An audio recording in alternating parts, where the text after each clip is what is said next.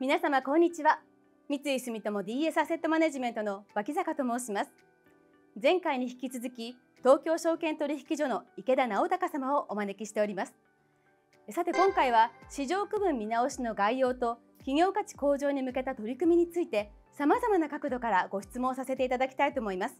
どうぞよろしくお願いいたします。それでは早速ですが資本コストや株価を意識した経営の実現に向けた対応に関するお願いは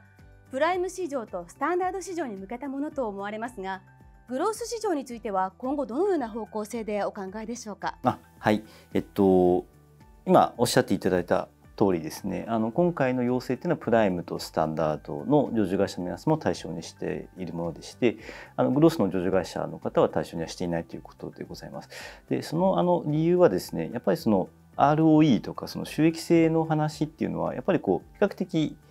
相対的に成熟しているプライムとかスタンダードの上場会社さんにとってやっぱりそういった話がやっぱりこう大きなテーマになってくると思いますけれども、まあ、グロースの上場会社さんってやっぱりベンチャーさんとかそのこれからあの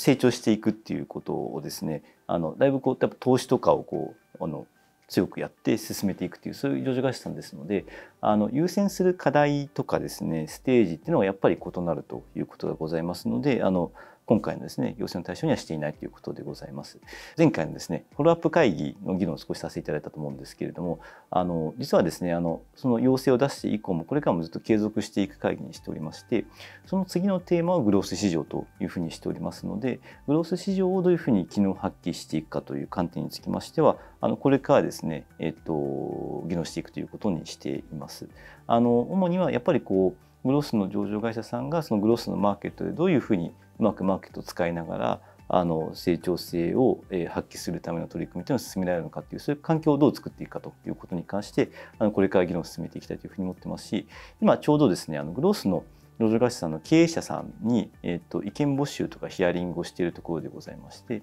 あのそういった内容も踏まえた上でですねあの今後検討していきたいというふうに考えているというところです。はい続きまして資本コストや株価を意識した経営の実現に向けた対応のお願いは規則上の義務付けとはなっていませんが今後その実効性を担保するために東京証券取引所ではどのような施策をお考えでしょうか？はい、えっと前回のですねあのご説明差し上げた時にも少し軽くご紹介しましたけれども実はこの質問はですねあの海外のその投資家さんとかが今回の要請の話をこう、まあ、ミーティングとかでさせていただくときに一番多くいただく質問がですね実はこの質問になっているということでございます。でえっと規則上の義務付けみたいな話についてはあの、えー、これはですねこう、えー、いろんな、まあ、義務付けの仕方があると思うんですけれどもあの、えー、やっぱりですね、まあ、何か義務付けてしまうと少しやっぱこう形式的な対応を招きかねないっていうような危惧も少しありますのであの今回のですねあの趣旨自体はやっぱりその会社さん自身のこう意識のところから変えていただくっていうことがすごい重要な観点になりますのであまりこう何て言うんですかそのやっぱ義務付けっていうのはこう裏返しであのペナルティとかですねサンクションみたいなものと裏腹になってしまいますので、まあ、そういった方法よりもあのまずはちょっと要請ということで始めさせていただいてあのよりいい形でですね企業の皆様に、えー、取り組みを進めていただいてあの投資家さんともあの対話していただいて、えー、それがブラッシュアップしていくというそういった世界をですねあの作るっていうのがあの一番大事かなというふうにあの思っています。一方でじゃああの今要請というふうにやっていった時にどれぐらいの企業さんが対応でしていただいているのかどうかとか投資家さんはどういうふうにこう、まあ、評価されているのかどうかとかそういった話っていうのがやっぱりストックしてきますのであのその上でどういうふうにですね、まあ、お互いをサポートできるのかみたいな話についてはあの今後の重要な課題かなというふうに思ってますのでちょっと状況が見えてきたところであの前回も少し申し上げましたけれどもあの今後の追加的に何ができるかみたいな話についてはフォローアップしていきたいというふうなそんなあのスケジュールで持っているというところです。はいえー、資本コストや株価を意識した経営の現状分析改善への計画の開示はどこで開示されるんでしょうか？決算単身や有価証券報告書上での開示というのは想定されていますでしょうか？はいえー、っとですね、どこで開示するかどうかについてはその前回も申し上げたフォローアップ会議でもですねあの実は結構議論したんですけれどもあの結論ですねあの開示の場所についてはあのもしくはあのどういったフォーマットでやっていただくかどうかとかそういったことについては今回取引所の方で何か定めるっていうことはしないっていうことにあのしました。でその理由はですねやっぱりこうえー、いろんな場所が、まあ、あり得るんじゃないかという例示は差し上げてましてあの例えばその経営計画の中で多分お示しいただくとかって一番分かりやすそうですよね。あとその、まあ、最近もこうもう先立って決算説明資料とかの中もしくはそこでのこう、まあ、説明資料の中とかで、えー、と少し言及されてる会社さんとかもあの数十社さんが出てきておりますけれどもあそういうところで説明される方もいらっしゃればあのアニュアルレポートみたいなところであのご説明される方もいらっしゃると思いますしあの、まあ、書いていただく場所っていうのは比較的あの自由ですしどういうふうに今回の内容を反映していただくかっていうこと自体についてもやっぱりその企業の方がどういうふうに投資家さんにこう、まあ、説明して対話していくのかっていうことがあの重要ですのであの、まあ、自由演技っていうかですねそういったものがやっぱり重要なんじゃないかっていう議論があってあの開示の場所も、えーと、フォーマットみたいなものを定めないというようなことにあのしているということです。でそうしますと一個だけちょっと懸念がありましてあのじゃあどこに書いてあるのかっていうことがやっぱりこう投資家さんからしてみるとわからないということになってしまいますのであの取引所がですね上場会社さんに提出開示をお願いしておりますコーポレートガバナンスに関する報告書という書類があるんですけれどもそこの中にどこに書いてありますよっていうこと自体もしくはそこのリンクなどについてはあの載せといてくださいっていうふうに上場会社さんにお願いしているということになりますのでそこを見ていただくと、まあ、経営計画なのかアニュアルレポートなのかあの決算説明書なのかいろんなパターンあるかもしれないですけれどもあのどこに書いてあるかというのが分かって、えー、そこに書いてある内容というのは企業さんのこう、まあ、自由な表現になっているというそういったあのことになっていくという想定です。はいえ足元ではトピックスが1990年8月以来実に33年ぶりに高値を更新しました。このきっかけはやはり今回の市場区分見直しなどの取り組みによるものと言われています。えー、一方で日本企業の PBR や ROE の向上の必要性は以前からも指摘されていました。えー、資本コストや株価を意識した経営の実現に向けた対応等の要請というのはやはり市場区分の見直しがあってのものと考えていいんでしょうか？あはい、えっと株価はですね、まあ、いろんな側面があって最近上がってるのかなというふうにあの思います。で、えっと、経緯の部分なんですけれども、あの、要請はですね、おっしゃる通り、市場区分の見直しを踏まえた上でのあの議論ということで、あの、前回ですね、経緯を申し上げた通りかなというふうには思ってますけれども、あの、もともとはやっぱり2015年にガバナンスコードが入って、そこからこう資本コストを意識した経営っていう重要性自体っていうこと自体は、あの、申し上げてきているところではございますのでやっぱりこうこれをどういうふうにこうより進めていくかっていうそういったことっていうのはあの重要なテーマだというふうにあの10代からあったということです。ですので、まあ、今回こう使用区分の見直しがあったので、まあ、これをきっかけにうまくタイミングもあったのでもう一回ですね、えー、とこういったことをお願いしていこうというそういった流れになっているということです。企業価値の判断の際に挙げられた PBR や ROE は業種によって傾向が異なるようにも思うんですけれどもそのあたりはどのように考慮すればいいでしょうか？はい、えっと、傾向だいぶ異なると思います。あの業種によってやっぱり全体として低い業種の、まあ、業界の方はもちろんいらっしゃると思いますし中でも個社のビジネスとかによってもだいぶ違うというふうに思います。ですので、まあ、そういった状況もあったりもしますし、えー、しますので、えー、と今回別にその PBR っていう指標に絶対してくださいっていうふうに申し上げてるわけでもないですしそのこう1倍とかっていうものをあの基準にしているわけでもないですしあのそれの1倍割れてる会社さん自身を対象にしているわけでももちろんないというようなそういったことになっています。ですのでその趣旨はですねやっぱり資本コストを上回る資本収益性を達成できているのかどうかとか達成できていたとしても例えば PBR がすごい低いとかっていうことになりますとあのマーケットからの評価の部分についてやっぱり何かしらあの課題があるかもしれないということになると思いますのであのいろんなケースがあると思いますのであの一律にですねあのなんていうんですかこの指標じゃなきゃいけないというふうなものはもちろんあのないですしあの改善計画みたいなものについてもあの例えばあのレンジで示すとかですねあるいはそのこう ROE とか EPS とかそういったもののあの成長率で示していくとか必ずしも絶対的な水準だけに限るものではないというふうにご案内しておりますのであの業種個社の状況ことを踏まえた上で、まあ、会社さんにとってどういった形で示していくのが投資家さんにとっていいのかということをご検討いただいてあの示していただくというそういったことをあのお願いいたしますというふうに上場会社の方にはご案内差し上げています。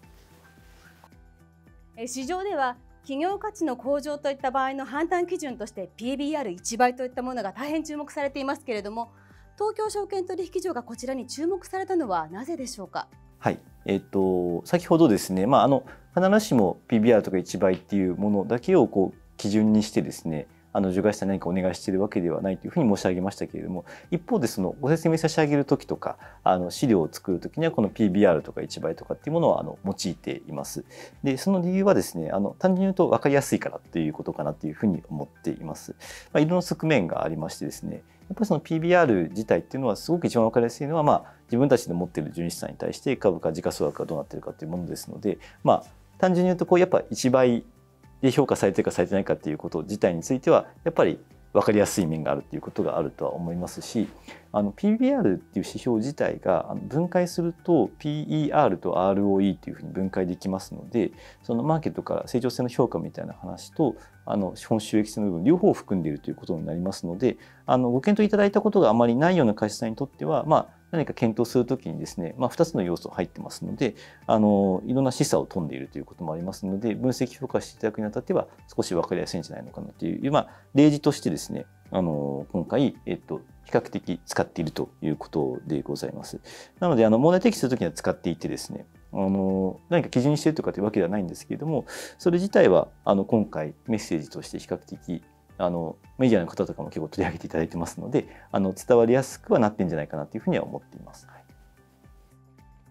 え PBR1 倍というのはあくまでスタート地点とも思えますがいかがでしょうか？あおっしゃる通りです。あのですのであの1倍を割れている会社さんだけを対象にしているわけではないというふうに申し上げてますしあの例えばじゃああの1.01倍だったらその資本収例えばですけど資本収益性とかマーケット側の評価に関して別にうちは大丈夫ですっていう話かっていうとあのもちろんそのことは絶対ないですよね。ですからあの、まあ、明らかにこう課題があるかもしれないねっていうことで PBR1 倍割れっていうものは使ってますけれどもあくまでそれ自体が目標とかゴールとかっていう話ではもちろんなくてあの目安としてあのメッセージとして申し上げてますけれどもあの別に1倍っていうのがこう別にゴールではなくてあのスタート地点ですしあの、まあ、スタート地点というよりむしろあの、えっと、もっといろんな形で皆さんがそれをどういうふうに上げていくかっていうことをあのその今の1倍とかっていう数字に限らずご検討いただきたいっていうふうそういったメッセージをあの10月の皆様にはあの差し上げています。はい、え今回の新市場区分への移行によって国内外の投資家から日本株式市場への認識の変化というのはあったとお考えでしょうか？はい、えっとそのまあ今回資本コストに関する要請をさせていただいてですねその海外投資家さん含む投資家さんからまあいろいろとお話しさせていただく機会にありますけれどもまああのおおむね好意的なフィードバックをいただいているとは思っています。ただちょっと皆さん口を揃えておっしゃいますのはあのまあさっきのちょっとご質問に出てきたかもしれないですけど、まあ、今後のフォローアップがですねやっぱりこうすごく重要で実際にこう企業さんの意識ですとかあるいはその、えー、と必要な変化を求めていくためにはやっぱりこう継続的な働きかけとかフォローアップっていうのはやっぱり重要であるねということだと思いますのであのうまくどう実質的なものに変えていくかということについてはあのしっかりとですね上場会社さんあるいは投資家さんともコミュニケーションを取りながらあの進めていきたいというふうに思っています。今回の取り組みについて国内外の投資家に対して今後さらなるアピールというのはお考えでしょうか？はい、えっと今もですね結構そのいろんな投資家さんにまあお話しさせてた機会があのいろいろいただいていてありがたいなというふうに思っていますしあのさらにやっていかなきゃいけないかなというふうには思っています。でなんでかっていうふうに申し上げますとそのやっぱりこう今回企業さんにお願いしているということにはなっていますけれどもあのやっぱり企業さんがそれをこう示していただく相手って、まあ、取引所なんかでは全くなくてですねあのやっぱ投資家さん株主さんなんですよね。ですので投資家さん株主さんの側からもやっぱりこうエンゲージメントなりを通じてあの企業さんの取り組みについて、まあ、どういうふうに評価しているのかとかあのそういったこう対話エンゲージメントみたいなものをしっかり進めていただくことがマーケット全体ではやっぱり必要なことだと思ってますのでそういう意味では投資家さんの取り組みっていうのも今後さらにやっぱりこう強くなっていくことが必要だというふうに思ってますので、まあ、あのアピールもありますしぜひ投資家さんの取り組みをお願いしますという意味であの引き続きですねあのディスカッションなどは進めていきたいというふうには思っています。資本コストや株価を意識した経営の実現に向けた対応の要請というものについて開示できない企業は株価に影響が出てくると思われますか？えー、株価の影響がどうかっていうのはなかなか難しい コメントが難しい部分かもしれないんですけれどもあのちょっと言い方を変えますとやっぱりこうきちんと検討していただいて開示されている会社そもそも開示している会社さんと開示されてない会社さん開示されている会社さんの中でもやっぱきちんと検討した上で投資家さんに中身もそうですけれども示している会社さん示してない会社さんっていういろんなこう置かれ方がしてくると思うんですけれどもやっぱりそれがやっぱ投資家さんから株主さん投資家さんからの評価にはつながってくるとは当然思います。まあ、それがちょっとどんな形で出てくるかっていうのはありますけれどもあのー、まあやっぱ投資家さんの評価にはつながってくるところだと思います。はいたくさんのご質問に率直にお答えいただきまして大変ありがとうございましたとてもよくわかりましたここ最近の日本株市場はトピックスがバブル後の最高値を更新するなど再び国内外の投資家から大きな注目を集めています。これはまさに今回お話しいただいた東京証券取引所の取り組みによる影響も大きいと改めて思いました。さらに今後は企業価値の向上に取り組む企業の動きが加速して広がりを持つようになるとますます日本株への評価が上がっていくのではないかとの期待が高まりますね。池田様本日は大変貴重なお話を本当にありがとうございました。こちらこそありがとうございました。